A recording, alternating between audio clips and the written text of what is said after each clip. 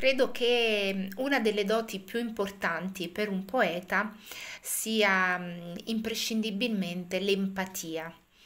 L'empatia, il vedere, il sentire sulla pelle le emozioni dell'altro, che sia un animale, una persona, un bambino, un anziano, eh, un fiore.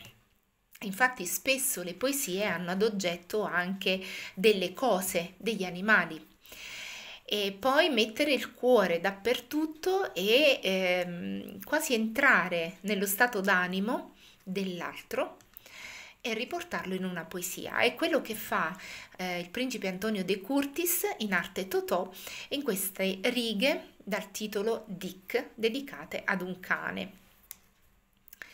Tengo un cane che è fenomenale. Si chiama Dick. Ah, lo voglio bene assai si perdere l'avesse, non sia mai.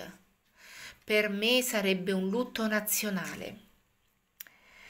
L'ha già cresciuto come un guaglione, con zucchero, biscotti e papparelle.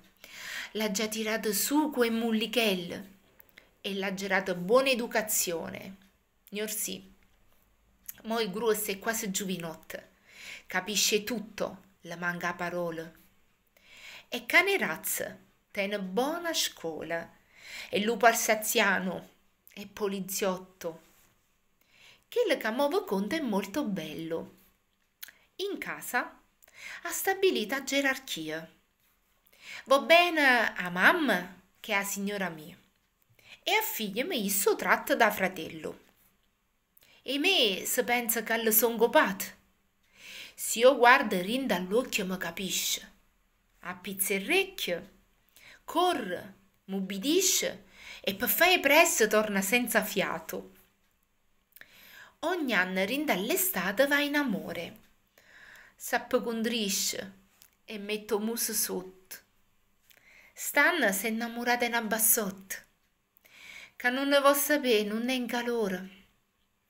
Povero Dick, soffre che maniera. Porta purissimo in bietta su dolore. E cane sì, ma tiene pure cuore. E o sangue rinde e vene. Vuoi moglie. Quindi Dick si è innamorato, è diventato ragazzo ed è necessario che abbia una moglie perché altrimenti soffre. Grazie Totò.